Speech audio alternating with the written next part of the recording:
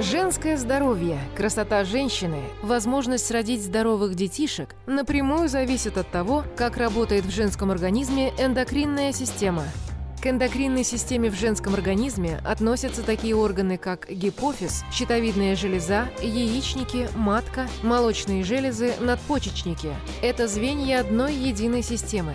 От их согласованной работы и зависит правильная выработка половых гормонов, то есть в нужное время вырабатываются необходимые гормоны в достаточном количестве и в определенном соотношении. Эндокринная система в женском организме изначально работает более напряженно, чем в мужском. Она более чувствительна к стрессам, к отрицательным эмоциям, к напряженному темпу жизни. Эти факторы чаще всего и нарушают согласованную работу отдельных звеньев эндокринной системы и приводят к развитию дисгормональных нарушений. Нарушается гормональный фон, появляются узлы и кисты в щитовидной железе, молочных железах, яичниках и в матке. На фоне дисгормональных нарушений формируется и развивается развиваются такие заболевания, как эндометриоз, кисты яичников, миомы, мастопатии, заболевания щитовидной железы. Часто у женщин репродуктивного возраста развиваются нарушения менструального цикла и появляются проблемы с зачатием. А у женщин более старшего возраста климактерический период проходит с осложнениями. Все эти проблемы начинают формироваться в детском возрасте и проявляются уже в подростковом периоде.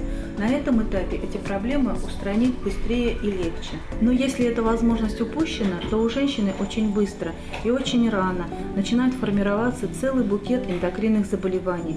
Возникает вопрос, как и у кого лечиться с такими проблемами?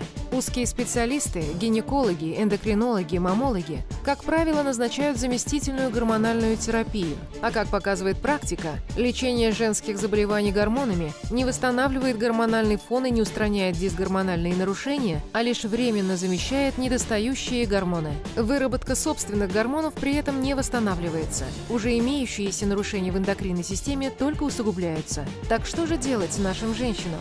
Помимо гормональной терапии существуют немедикаментозные способы лечения. С приходом в нашу жизнь электронных технологий был разработан современный способ, имеющий ряд неоспоримых преимуществ.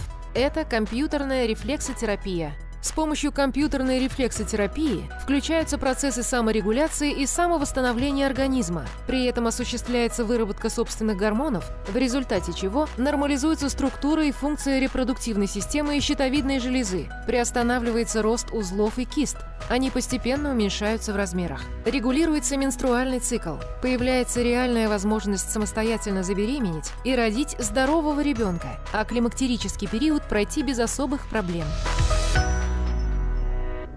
Лечение гипотериоза и гипертиреоза без применения гормональной терапии. С 1 по 8 сентября УЗИ и консультация заведующей отделением за 1500 рублей.